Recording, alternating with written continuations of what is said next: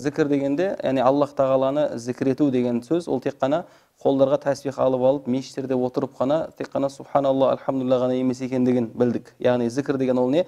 Зікір деген бүкіл өміріміздегі бүткіл жағдайларымыздың бәрін аллах тағаламен байланыстыра алу. Яғни тұрғаннан бастап ұйықтағанға дейінгі бүкіл істің өзінің несі болады? Өзінің зікірі болады. Тұрғаннан бастап ұйықтағанға дейін кез келген жұмыстың жұмыстың алдында жұмыстың соңында жұмыстың ортасында жұмыстың барысында алла субханала тағаланы еске алып отыру алла субханала тағаладан жәрдем тілеп отыру аллах тағаладан медет тілеп отыру бір жақсы істер болатын болса аллах тағала осы істі маған істеткеніңе өзіңе мақтаулар болсын деп шүкірлік етіп отыру бір жаман істерден құтылып жатқан болсақ аллах тағалаға иә алла саған мақтаулар болсын мені сондай бір жаман істерден құтқарғандығыңа деп аллах тағалаға мақтаулар айтып отыру бұның барлығы неге жатады бұның бәрі зікірге жатады яғни барлығы аллах тағаланы еске алуларға жатады иншалла соған қатысты біз бір екі хадис оқып кетейік. Өйткені кешегі сабағымызда біздің уақытымыз жетпеді. Мына жерде ан абдуллах ибн буср радиаллаху анхудан әнна ражулан бір кісі келіп сұрады дейді. Я расулаллах дейді. Инна шараи ислами қад касурат алейя бір кісі келіп сұрады дейді. Я расулаллах мынау ислам исламдағы бұйрықтар исламдағы амалдар исламдағы мынау фиққа байланысты мәселелер яғни өте көбейіп кетті. Маған бір нәрсені үйрет мен сол нәрсені істесем сол нәрсені істесем сол нәрсеге байлансам аллах тағаланың рахметіне жететіндей маған бір нәрсе үйрет чтобы мен сол нәрсемен өмір бойы айналысайын сол нәрсемен өмір бойы жұмыс істейін сол арқылы мен алланың рахметіне жетейін дегенде қала расулалла саллаллаху соған былай деді дейді. Сенің тілің әрдайым неде болсын? Аллах тағаланың зікірінде болсын. Сен әрдайым аллах тағаланы есіңе алып жүр. Тіліңмен әрдайым аллах тағаланы ұлылап мақтаулап мадақтап жүр дейді. Яғни біздің мәселен ә, зікірлеріміздің ішінде біздің кең тараған мәселен субханаллах деген сөз бар. Иә субханаллах деген сөздің мағынасы не? Субханаллах деген сөздің мағынасы аллах тағала бүкіл айып кемшіліктерден пәк дегенді білдіреді. Яғни субханаллах деген сөз алла субханала тағала аллах тағалаға лайық болмаған аллах тағалаға лайық болмаған адамдар тарапынан не болмаса мақлұқтар тарапынан сондай шығар деп ойланған бүкіл айып кемшіліктің бәрінен ол не? Пәк дегенді білдіреді. Ал альхамдулилля деген не? Альхамдулилля деген яғни бүкіл мақтау мадақтар бүкіл әлемдегі жаратылған жаратылыстардың барлығы яғни періштелер бар жындар бар адамдар бар жан жануарлар бар ә, біз білетін судың астында өмір сүретін балықтар бар біз білетін қанша мақлұқтар біз білмейтін қанша мақлұқтар бар соның барлығының мақтаулары аллаға тән деген мағынаны білдіреді. Альхамдулилля деген. Ал аллаху акбар деген ол не? Яғни аллах бұл аллах тағала әкбар бүкіл әлемнен ұлы. Үстем жоғары құдіретті деген мағынаны білдіреді. Лә иляха иллаллах деген бәріміз білеміз иә аллах тағаладан басқа құлшылыққа ғибадатқа жалбарынуға дұға тілек қылуға намаз оқуға сұрауға лайықты ешқандай құдайдың жоқ екен деген мағынаны білдіреді. Лә хаула уа ла қуата илля билля дегеніміз ол не ешқандай лә хаула ешқандай күш қуат лә хаула уа ла қуата ешқандай күш ешқандай қуат ешқандай үстемдік ешқандай билік жоқ илля билля тек қана бүкіл билік бүкіл үстемдік бүкіл қуаттың бәрі кімдікі аллахтікі дегенді білдіреді яғни бұл сөздердің барлығы алланы не қылады алланы ұлылайды мадақтайды ұлылайды мадақтайды әсілінде ұлылауға мадақтауға лайық болған ол кім ғана жалғыз аллах тағаланың өзі ғана. Жалғыз өйткені бұл, әлемде аллах бұл әлемде тек ә, фәил дейді ғой жалпы. Бұл әлемдегі бүткіл нәрсе тіпті аспаннан түсіп жатқан әрбір жаңбыр мен жерден шығып жатқан әрбір дән алланың рұқсатынсыз түсіп шықпайды. Организміміздегі қанша қанша мәселен өмірде қанша қанша молекула бар дейміз ғой например кез келген дене молекуладан тұрады деп бізде биология үйретті. Міне сол молекуланың ешқайсысы оның ішіндегі протон мен нейтроны оның ешқайсысы алла субханала тағаланың назарынан тыста емес және олар аллах тағаланың қалауынсыз өмір сүре алмайды. Алла субханала тағаланың қалауынсыз не қыла өмір сүре алмайды кішкентай ғана сол біз білетін ең кішкентай заттан бастап біз білетін ең үлкен зат аршқа дейінгі бүткіл нәрсе алла субханала тағалаға бар болуында мұқтаж.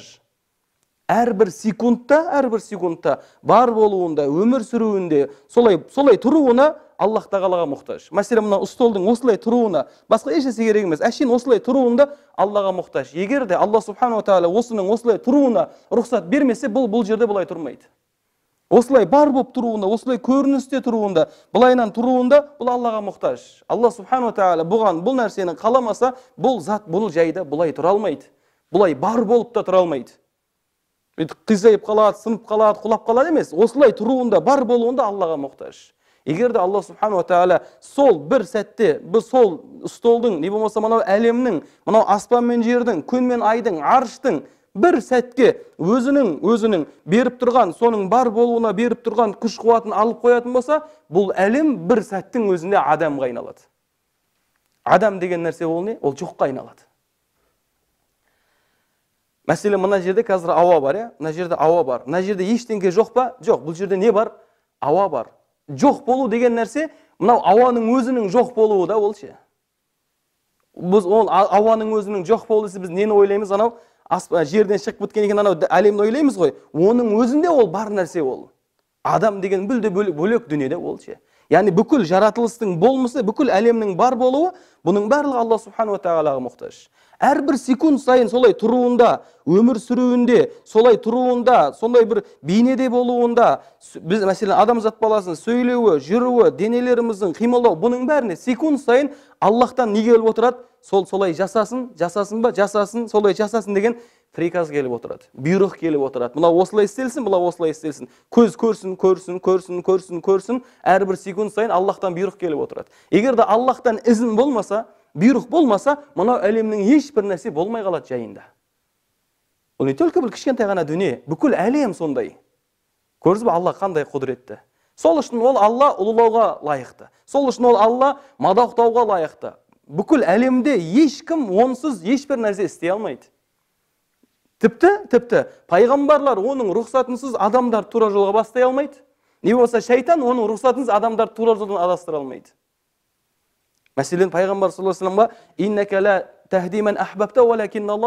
алейхи деді сен өзіңнің сүйген адамдарыңды не қыла алмайсың тура жолға бастай алмайсың бірақ алла субханала тағала өзінің қалаған пендесін тура жолға бастайды пайғамбар бір адамдарға дағуат айтуда ол аллаға мұқтаж адамдардың хидаятқа келуіне ол аллаға мұқтаж бүкіл нәрсе ол алламен байланысты және иблис алейхи бір адамды азғырайын десе егер де алла оған рұқсат бермесе ол иблис оны не істей алмайды оны азғыра алмайды. Сұрақ туындайды. Неге иблиске алла адам баласына алла субханала тағала азғыруын рұқсат береді? Өйткені иблис оның азғыруын сұрап жатыр. Ана анау пенде иблистен азғырылмауын не қылып жатқан жоқ? Ол сұрап жатқан жоқ. Иблис оны азғыруын қалап аллахтан жәрдем сұрап отыр. Е алла маған жәрдем бер мен соны азғырайын ал анау пенде аллахтан иблистен пананы не қылып айтқан жоқ? Сұрап жатқан жоқ. Бұл өмір сондай алла субханала тағаладан кім нені сұрап неге әрекет жасаса сол нәрсенің бәрі бұл өмірде не қыла беріледі бұл өмірде беріле береді сол үшін анау адам баласы мына мына жерде келген пайғамбарымыз саллаллаху алдына келген бір кісі не деп жатыр бір кісі келді я расулаллах деді мынау көбейіп кетті амалдар көбейіп кетті яғни бұл мынау хадистің сыртынан көрінгеніндей бұл бір не әлсіз болуы мүмкін не жасы үлкен кісі болуы мүмкін не болмаса бір араби болуы мүмкін иә мәселен не болса бір бір жерде бір ауру бар болған бір кісі болуы мүмкін. Түрлі түрлі нәрсе ықтималдығы бар.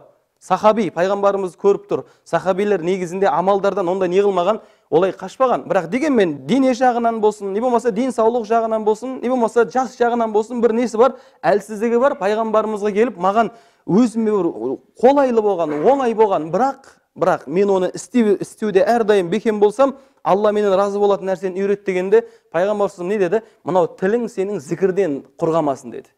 Яғни әрдайым неде болсын деді тілің деді? Әрдайым зікірде болсын деді. Субханалла альхамдулилля аллаху акбар субханалла олар бар одан бөлек алла өзіңе мақтаулар болсын деген сияқты сөздермен болсын деді. Бұл хадисті имам термизи рахимахулла ибн мәжа және де ибн хиббан бұл хадисті сахих деп айтқан екен.